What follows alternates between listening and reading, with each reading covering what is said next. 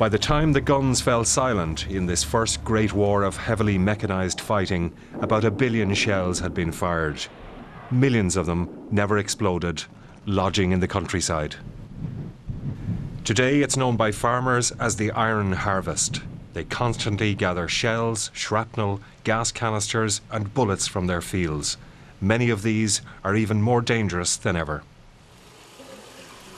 It's a harvest that carries risks for people living across what was the Western Front, requiring the use of bottled water in some creches and pregnant women to be cautious.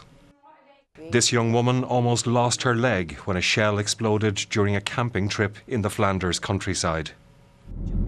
In other incidents dealt with by a specialist Belgian Army bomb disposal squad, there has been death. The victims this time, two building workers killed near Ypres earlier this year. A hundred years on, these fields are still giving up their weapons of destruction and the bodies of men who died here.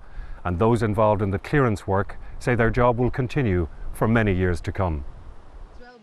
Barbara Cardone is a young farmer who, with her father, works the land at Varlet Farm. She shows us some of their iron harvest. Here you have, well, pieces of shells. So that's a big one. That's also quite a big one, filled up with well, dirt. Uh, a lot pieces of iron, of course, uh, pieces of nose cones, things like that. So sometimes while my dad is plowing on the field, uh, the shells or a grenade or something else comes up and the shell still can be live and then we have to call the police. The police comes to check it and then they contact the bomb disposal and the bomb disposal then comes onto the farm to collect the dangerous shell or grenade or whatever we have found.